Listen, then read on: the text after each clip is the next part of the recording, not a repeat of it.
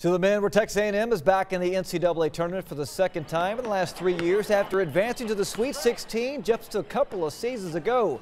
It's been a roller coaster season for the Aggies. They started out 11 and 1, lost their first five conference games, and then went 9 and 4 down the stretch before being knocked out in the second round of the conference tournament.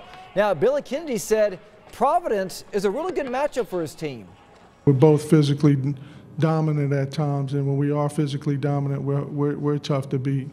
Uh, we hope our size and length is something they haven't seen a whole lot of. That usually gives people problems because we, we go 6'10, 6'10, 6'9 at the front line, and at times we'll play some zone, and hopefully that'll be able to bother them some also.